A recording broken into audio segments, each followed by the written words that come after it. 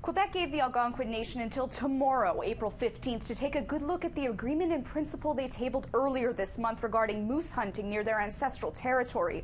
Except the newly elected Band Council at Barriere Lake decided last week the proposed agreement was too limiting. And since then, more and more people are going on record to say Council's holdout could compromise the whole deal.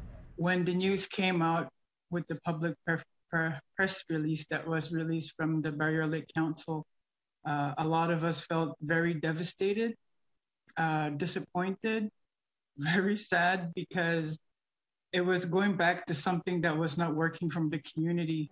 Shannon Chief is a member of the Wolf Clan of Barriere Lake. She's assisted in the on the ground demonstrations there for the last two years. And while newly elected Chief Tony Wawatie agrees moose need protection, he wants to revive a previous agreement that protects against other exploitation on their territory.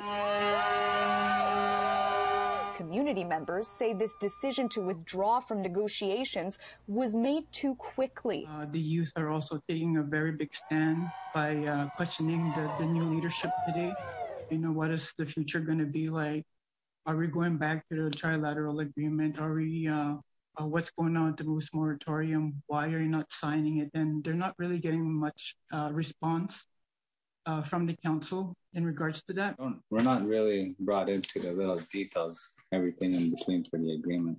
Alan Ratt was chosen to speak on behalf of the community's youth council. When they say something about the land, it's always don't sell out the land. And I think that's all that needs to be said. We reached out to Chief Wawatie, but his stance remains the same even after a week of community meetings. Uh, for sure, I reached out to the negotiator and say, listen, the elders were saying, let's meet each other.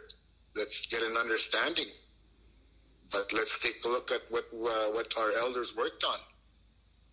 You know, and, uh, and, there needs to be a lot of education around that, uh, around the implementation agreement. Chief says she hopes her community and the nation as a whole can find common ground, even if not ahead of Thursday's meeting with Quebec.